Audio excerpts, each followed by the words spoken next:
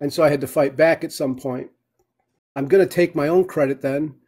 and you know, and then I just a lot of the harmful things that happened towards me and my family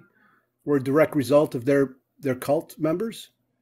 and so it's this is about fighting back a little bit, but it's also about bringing bringing justice to the reality of the situation versus the ide- ide- idealistic uh, nature of their their recreated their their their creation myth, which is a lie.